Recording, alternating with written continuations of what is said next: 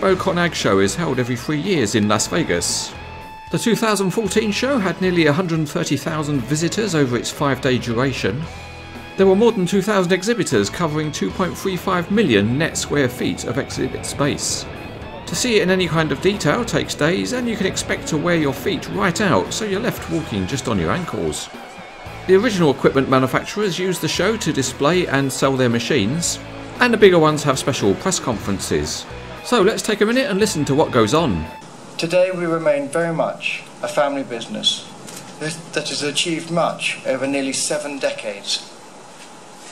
And while we do enjoy looking back, we much prefer looking forward. And finally to North America, which has had a roller coaster ride. In 2005, the market peaked at 187,000 units. By 2009, it had fallen to an incredible low of 75,000 units. We have 37 fantastic products here on the stand today. And this morning I'm going to introduce a brand new range of compact excavators. Skid steer loaders and rough terrain forklifts with Tier 4 final. And an exciting new range of Loadall telescopic handlers. And if that's not enough, we've got some exciting new developments as well on backhoe loaders, excavators and wait till you see what we've done on our large wheel loading shovel. And because on this engine, Tier 4 final is achieved through efficient combustion and selective catalytic reduction, there's no need for a DPF. So there you have it, the new 457, delivering new levels of comfort, visibility, productivity and efficiency. Outside of the office, the JCB lot was full of new machines for people to look at. And as part of the entertainment, there was also a show by the JCB Dancing Diggers. Without waiting anymore, here they are, the world famous JCB Dancing Diggers.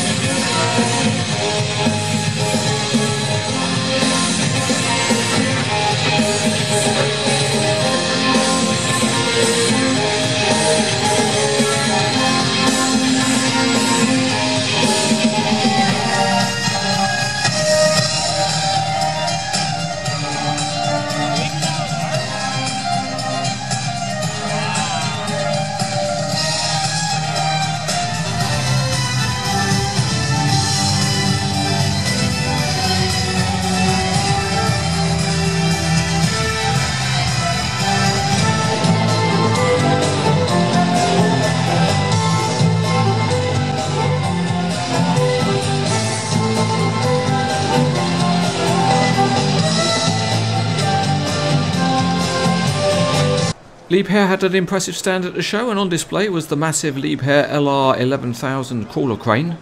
And it's certainly interesting to be able to get up close to such a large machine. Also on display was the LTM 1750 mobile crane. It was carrying a fly jib and it was in the colours of Digging and Rigging. Digging and Rigging is an American company based on the East Coast.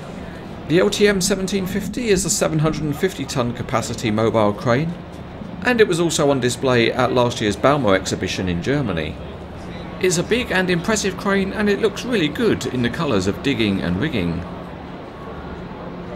There were plenty of other machines on the Liebherr stand and one of the new ones was the Liebherr R956 excavator. This new 50 ton class excavator takes over from the R954. Also new on the stand was the LTM 1160 mobile crane, with its interesting feature being one engine is used to drive both the crane and the vehicle. Just for fun, Liebherr had a game on their stand where you could measure your strength by trying to rotate the auger of an LB44 drilling rig. 26.2, 20, 27, 28, 28%. 47, 51, 53, 54. No bothering the contestant. That's not nice. 57.6. 59.3, five seconds left. Three, two, and one. 62.2. There were no new scale model announcements from Liebherr at the show, but there was one thing interesting to see, and that was a 630 ECH tower crane model which had been modified for wind turbine erection. And looking closely, there were a few revised parts compared to the production model. Another interesting machine at the show is the K-Tec Scraper, which was teamed up with a Volvo A40F and the model of it was available at the show. Indoors there was a very large Volvo stand, including his A40G series. There was also a large Volvo brand shop with a couple of new models available. The bigger one was this EC480E excavator, and it looks quite good with the usual opening engine cover. One other thing that's reassuring is that the hydraulic rams on this model are back to normal, with proper metal pistons. The smaller model was the EC300E excavator, and that also looks to be a good standard model. Also for sale was the L150H wheel loader with its tilting cab. Although the focus of Conexpo is the new machines, some companies took the time and trouble to show some of the older machines from their past. At least I assume these were old machines and not some kind of modern retro design gone mad. But wait a minute, yes of course, turn the corner and there is a modern machine on display.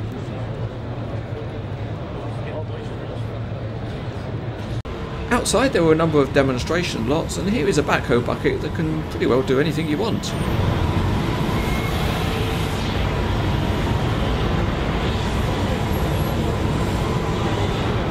Many stands were giving away bags and bits and pieces, but hey, Las Vegas is a gambling town. Just look at the high rollers striking it big. The representatives on the Kobelco stand were certainly mean looking fellows. And the display of the machines was interesting.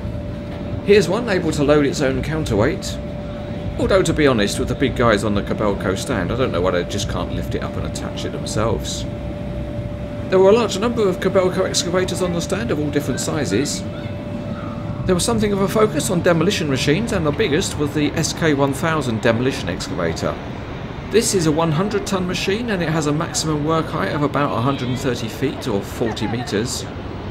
And it certainly is an impressive sight close up. Also laid out on the ground was a separate boom attachment. And again it's only with the ability to walk up close to these things that you see how solidly made and heavy they are. Another machine on the Kobelco stand was this 350 excavator, and it probably wins the prize as the most highly decorated.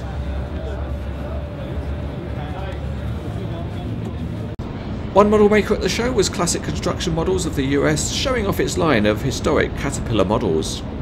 One opportunity it gives is to see firsthand one of their high quality brass models. And this number 12 motor grader certainly is highly detailed.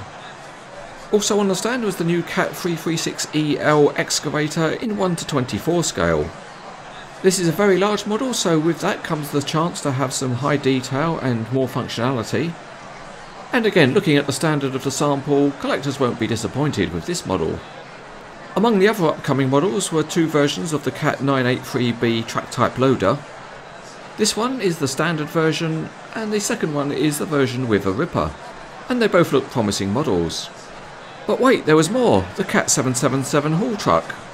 And even more with the 776 tractor and MET 185 trailer. And as a bonus, there was a plastic sample of the 620B hydraulic shovel.